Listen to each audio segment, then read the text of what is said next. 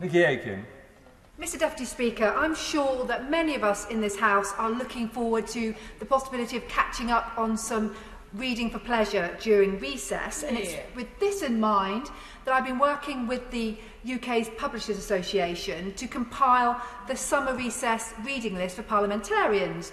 And I note that your own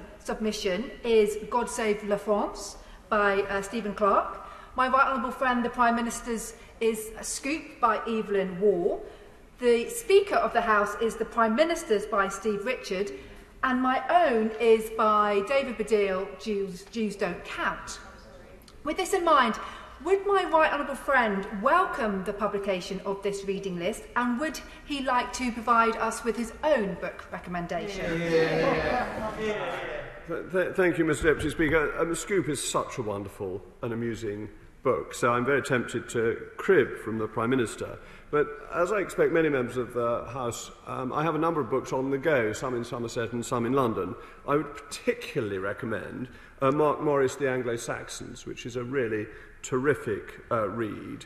I'm currently also reading um, Ellis Peters, The Holy Thief, which is one of the Cadfell novel. So if you like a bit of who done it from the Middle Ages, that's not a bad one. And in a Middle Age theme, uh, Walter Hilton, The Ladder of Perfection, uh, is perhaps not the most popular book in the world at the moment, but it is still in print and has been uh, again since the Middle Ages. But over the summer, how can one resist reading anything other than P.G. Woodhouse?